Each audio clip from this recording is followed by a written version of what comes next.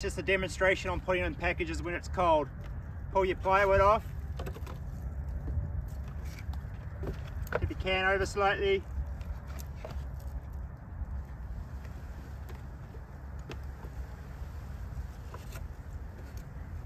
Check and make sure your queen is alive.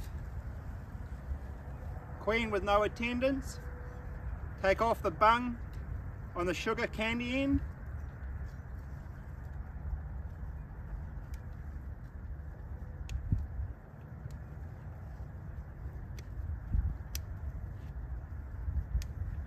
Like so. You can prime it by pushing through the candy a little bit more.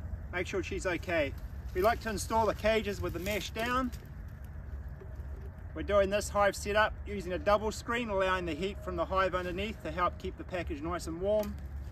Uh, we're not feeding liquid sugar syrup because it's so cold, but we have put three frames of honey uh, stores in there and scrape the wax off the side.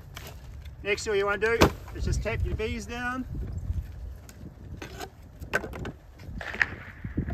pull them in.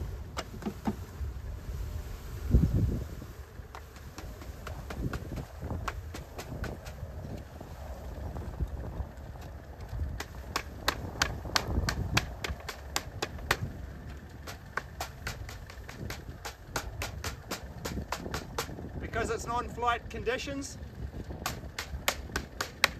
we don't want to stir the bees up too much. Try and get them all out. We like to leave them down by the entrance. They can pick up the pheromone and move in. You can spray them down with sugar syrup. However, since it's so cold, we're just going to leave them dry.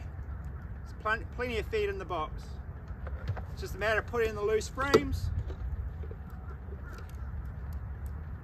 covering up the hive.